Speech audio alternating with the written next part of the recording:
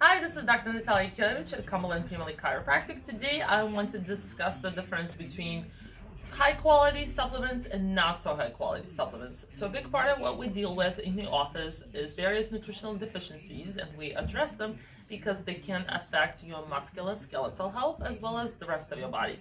So for example, here I have a fish oil which is commonly sold in a lot of stores, um, grocery stores, pharmacies, and so on. Nature's Bounty fish oil. And I have a fish oil by standard process company called Ulprima EPA DHA. So when you look for a quality supplement, you definitely want to read the ingredient list. So for example, here in this fish oil, you know, it lists the kind of fish oil that's there.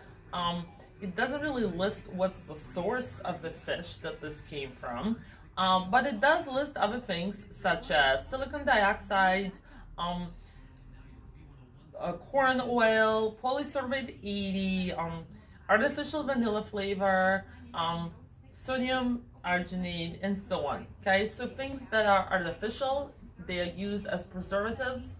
You shouldn't have artificial colors or flavors, and you don't need any of that stuff in a high quality supplement. So it will affect its potency and its ability to be absorbed by your body well. Okay, and the fact that it doesn't list where this fish is sourced from or what kind of fish is used to make the supplement. Versus if we take a standard process supplement and their fish oil will list, you know, uh, what goes in there, okay? It will list what's the fish source, which is anchovy and sardine, okay?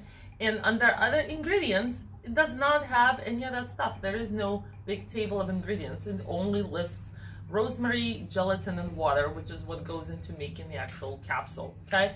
It also shows you how much EPA and DHA is in there, which are two very specific fatty acids that we need. Uh, EPA we need for our heart, our nervous system, DHA we need for our brain function, so it lists the ratio of what you're getting there. So that's the difference.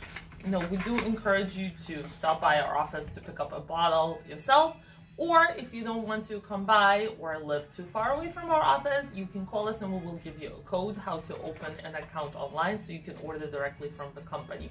Just a quick note, Amazon resells some of these items, okay? First of all, the price will be higher, and second of all, we cannot guarantee that you will be getting an authentic product by purchasing it from Amazon because our the process cannot control all resellers and anyone else who may want to make an extra buck by selling, you know, um, close to expiration date um, products as well as expired products. Okay, so we hope you have a great day. Stop by, pick up your bottle, and start taking it so that way your brain and the rest of your body works better. Thank you.